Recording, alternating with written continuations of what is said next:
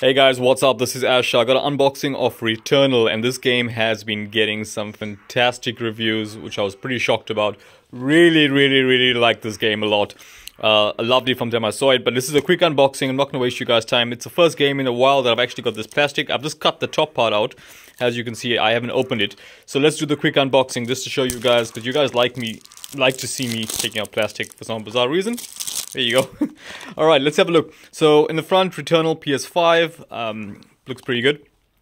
On the back, it says break the cycle, fight to survive on a hostile, shape shifting alien planet. In this roguelike shooter, every attempt at escape is a battle against all odds.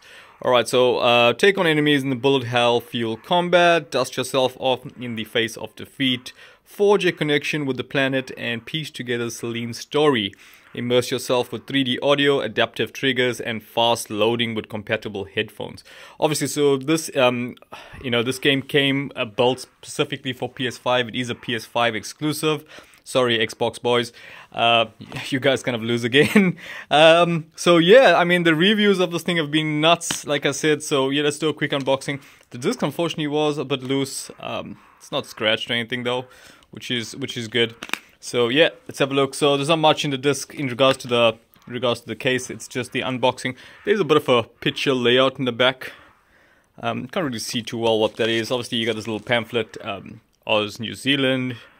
Before using the product, please visit the settings menu, PlayStation for important. This is health and safety. It's not really too much on the inside.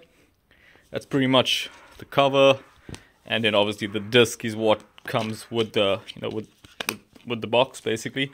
And that's pretty much it guys. All right and that's uh that's it for this unboxing. I hope you guys enjoy. Catch you guys later. I will be live streaming returnal this evening. I'm out